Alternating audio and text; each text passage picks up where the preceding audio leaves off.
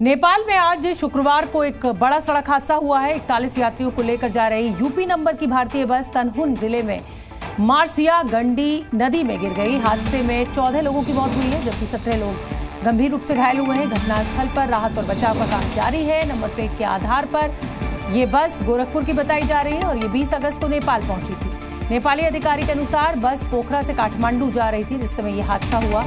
नदी का बहाव आप देख सकते हैं। बरसात के चलते नदी में बहुत तेज बहाव था और पोखरा से काठमांडू ये बस जा रही थी, जो कि गिरी इस नदी में और बड़ा सड़क हादसा हुआ। इसमें कई लोगों की मृत्यु हो गई।